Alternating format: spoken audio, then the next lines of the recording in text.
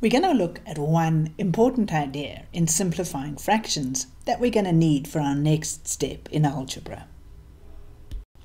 Let's imagine a learner was faced with these two fractions and asked to simplify them.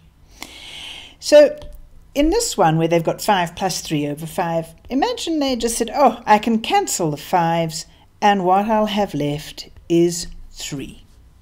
And in this case, they also say, oh, I can cancel the 5's and what I'll have left is 3. Pause the video now and think for yourself, where was this learner right and where were they not right? Okay, hopefully you had a look at this and said 5 plus 3 over 5, that is 8 over 5. And 8 over 5 is certainly not the same as 3.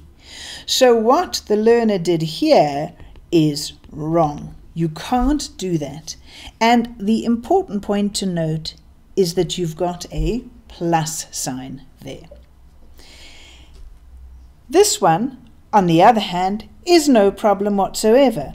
5 times 3 over 5, if you worked it out, it's 15 over 5, which is equal to 3. So this is going to get a big tick. You can do that. And the important thing to note is that you've got a multiplication sign. And so what we have is this idea that if you have an addition or subtraction in the fraction, you can't just happily cancel away. It's no problem if you've got a multiplication because really what this is is 5 times 3 divide by 5. Multiplication, division, they're all related. They're all on the same level so you can actually just cancel through. But when you have an addition or a subtraction, you cannot just cancel. Remember when we looked at it way back in grade 8, you recognized that division and multiplication have to distribute over plus. The 5 has to divide into the 5 and the 5 has to divide into the 3.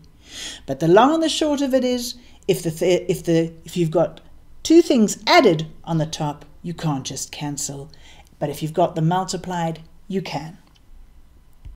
So the basic rule you should have floating in the back of your head all the time is you can't cancel over plus or minus. Okay, so have a look at these four here.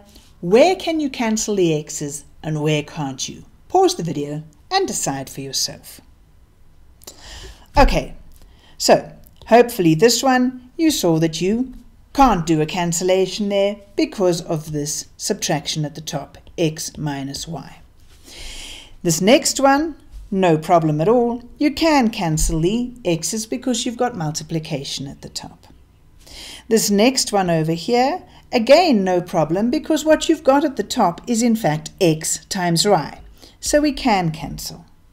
And then in this last one, well we can do some cancelling because we've got x multiplied by this whole thing.